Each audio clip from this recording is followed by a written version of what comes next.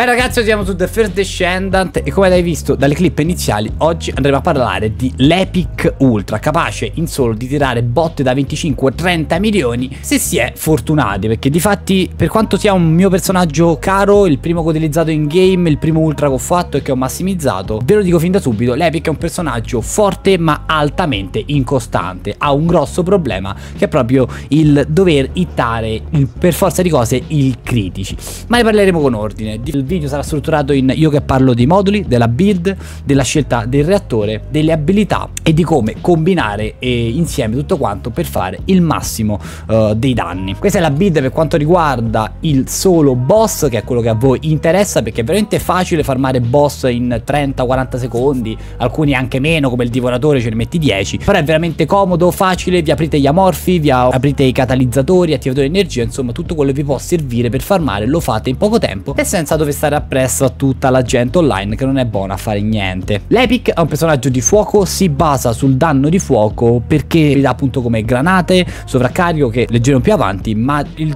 main focus è assolutamente la ulti accanimento perché? Perché scala al 2760% col potere abilità. Come avete capito, eh, più potere abilità avremo, maggiori saranno i danni, più tasso di critico avremo, più i danni saranno consistenti, maggiore il danno critico, più i danni del critico ovviamente saranno alti. Quindi il pacchetto di moduli che dovete assolutamente avere è assolutamente intuizione e abilità, che ovviamente è il tasso di abilità critico, misure di emergenza, che ovviamente è il tasso il danno critico, concentrazione abilità, che ovviamente è il danno critico, prime linee, che vi aumenta danno e tasso critico, e poi specialista di fuoco e non aumento di potere, perché in primis è più alto, e puntiamo a poi avere potere abilità fuoco, perché mentre il potere abilità ti boosta il danno all'impatto, potere di fuoco ti aumenta poi il danno delle pallette che rimangono e bruciano i nemici costantemente nel tempo. In più aumenta anche il danno da ostione di sovraccarico. Perché ho detto che è inconsistente e perché ho detto che avete bisogno di più tasso critico? Perché nonostante voi leggiate a sinistra 207 di tasso colpo critico e di danno a colpo critico, quello non è il totale del vostro danno critico. Non vuol dire che se avete 100% di tasso critico allora critterete sempre con la vostra abilità. No, perché quei valori lì vanno applicato sulla statistica di base del personaggio. Come vederlo, se noi mettiamo ad esempio uno slot completamente vuoto, uno slot completamente vuoto e prendiamo W andiamo sopra, vedremo che di base il nostro personaggio avrà tasso criticabilità del 15% e il danno critico 1,3. Quel 207% va applicato a questi due valori, quindi di base triplicheranno. Infatti se noi andiamo a mettere tutte le nostre belle mod e ricontrolliamo, vedremo che il tasso di colpo critico arriva al 46%. Ad esempio metto sto reattore che ha tasso di colpo critico e boost e abilità di fuoco. Una volta che andremo a controllare, noteremo che il tasso di colpo critico arriva esattamente al 50%, permettendoci di avere un colpo potenziato, una palla potenziata che critta al 50%. Ovviamente il tutto è condito da due mod molto importanti. La prima in assoluto, Maestria Armi da Fuoco, che è la mod rossa specifica di l'Epic Ultra, quindi ve la dovete farmare a 2.5%, se la trovate, se ce l'avete già,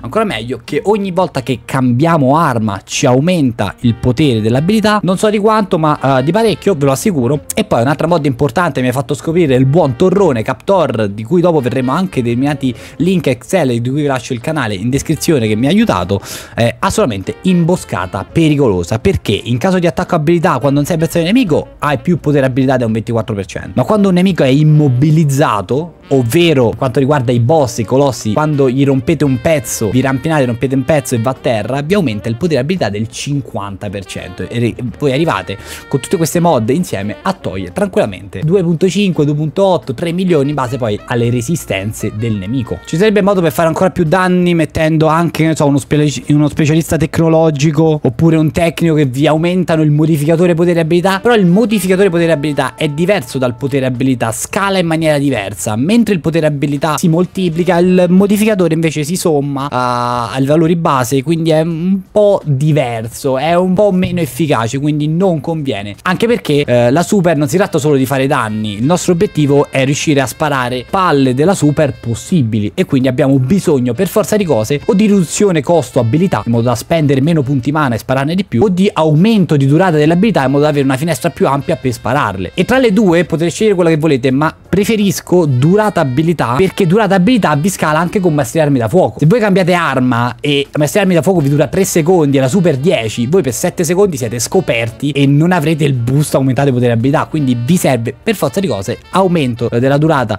dell'abilità e per questo abbiamo ovviamente ampliamento abilità che ci dà un buon 31%. È comodo, arriviamo ad avere una durata di 10 secondi che con 40 pm a, a colpo se noi abbiamo 400 di mana riusciamo a sparare tranquillamente tutti i colpi.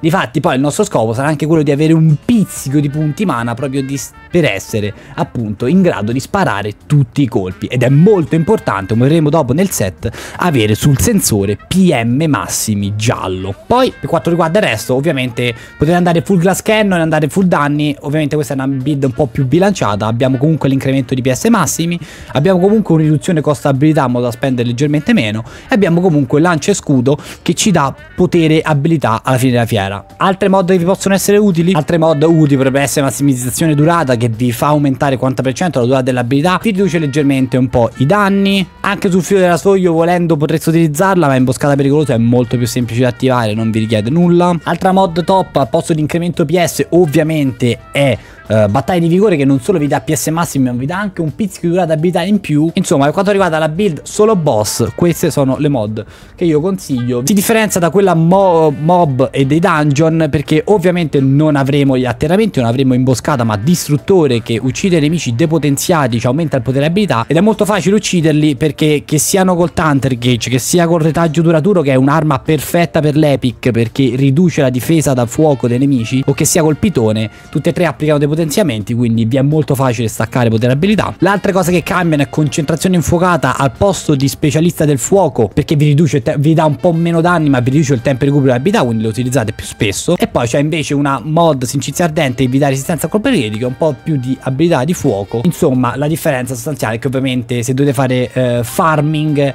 non puntate tutto sulla super ma puntate su tutte le abilità in generale tutti i danni di fuoco che l'epic può fornire. Invece se volete shottare i boss poi il next step ovviamente è quello di avere un buon reattore reattore che vi servirà assolutamente con tasso di boost abilità fuoco e tasso di boost tecnologiche perché la ulti è tecnologica come vederlo su discendente ulti c'è scritto fuoco tecnologia. E poi come perk sotto potete scegliere assolutamente 4 scegliere il danno da colossi perché è molto buono ovviamente contro i boss ma perché soprattutto si moltiplica tutto quello che avete visto prima. E poi il tasso di critico secondo me sarebbe il migliore proprio perché vi assicuro se no è veramente difficile inconsistente hittarlo voi volete raggiungere almeno un 50% di chance di shottare sti cazzo di colossi. Altre cose buone ovviamente sono il tasso di boost del potere abilità di fuoco e poi se proprio ve la volete rischiare danno critico è ottimale altrimenti anche qui o durata abilità o costa abilità in base alle vostre esigenze in base a quello che trovate assolutamente. Componenti esterni ovviamente il set va messo il massacratore lo farmate dal piromane. Ovviamente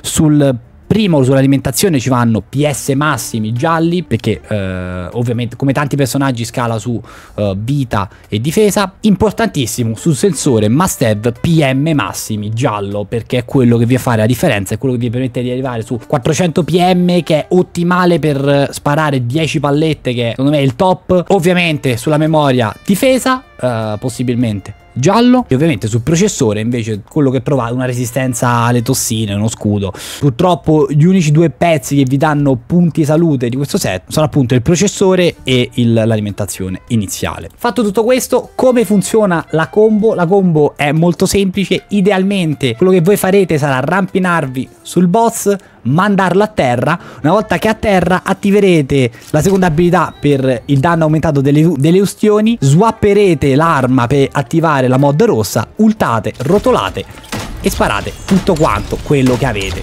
E come vedete quando critta qua crittiamo a 4 milioni. Ovviamente questo è un mod del cazzo un mob del cazzo normale però il viandante del gelo, che è penso uno dei boss più difficili, con 4 Lepic lo aprite in un nanosecondo. Lato armi, molto forte ovviamente il Thunder Cage, io l'ho maxato al massimo e proprio perché l'Epic è di fuoco, io gioco il mio Thunder Cage con conduttore di fuoco così ha danni sempre aumentati. Perché è molto forte Thunder Cage con l'Epic? Perché ovviamente con la terza abilità noi possiamo raggruppare tutti i mob e ogni volta che noi ne ammazzeremo uno creeremo un'esplosione che farà danno ad area e li ammazzerà tutti insieme. Insomma, questa la potete combinare benissimo con qualsiasi altra cosa. Se voi tirate la granata, applicate la seconda abilità, anche questa toglie un milione più le bruciature, anche solo la prima granata vi toglie più di un milione. Capite bene perché il Thunder Catch è forte e perché soprattutto è forte il retaggio duraturo. Questo mitraglione è molto meglio del domatore, eh, è giallo, lo craftate, potete potenziarlo, raggiunge pure questo rampa subito, raggiunge 500.000 dps con tre mod in croce, letteralmente. Non fate caso che stavo testando roba, però essendo un mitraglione, concentrazione mentale ovviamente è fortissima, nonché ovviamente conduttore di fuoco, perché il vostro obiettivo è avere il retaggio duraturo con attacco di fuoco, poiché proprio il perk unico applica sui bersagli quenching,